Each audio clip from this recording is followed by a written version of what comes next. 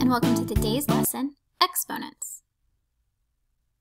We'll start off by looking at an example of what an exponent is. Here we have 5, which is called our base, and then a small 4 in the upper right-hand corner. This is called our exponent. So an exponent is used to show that a number is being multiplied by itself a specific number of times. The base is the factor being multiplied, and the exponent is the number of times. This is also called being raised to a power. So what exactly does 5 to the fourth power mean? Well, we know we are going to multiply a base to itself, and we know we should only be multiplying 5s here. The 4, the exponent, tells us how many times we are going to be repeating our 5. So 5 to the fourth power really means 5 times 5 times 5 times 5. Let's look at some more examples. We have a table here with three different forms. Exponential, expanded, and standard. Let's talk about what these forms mean.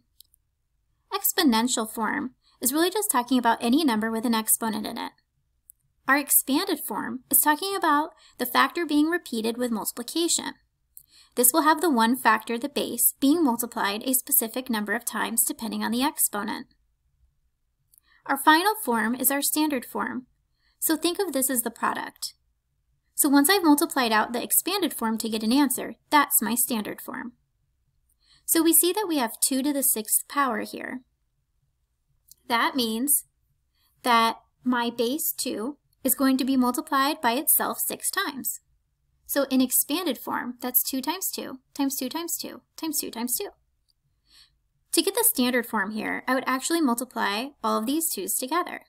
So 2 times 2 is 4, 4 times 2 is 8, 8 times 2 is 16, 16 times 2 is 32, and finally, 32 times 2 is 64.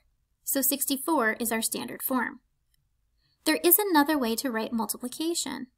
So I have been using an x for multiplication for the standard form, but we are actually going to use another symbol to show multiplication, which is simply a circle.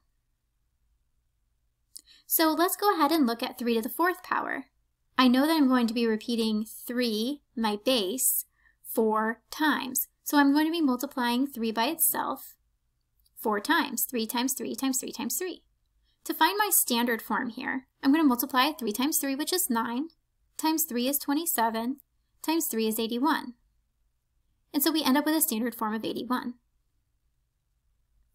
Take a moment and pause the video to see if you can figure out what 7 to the third power is in expand, expanded and standard forms.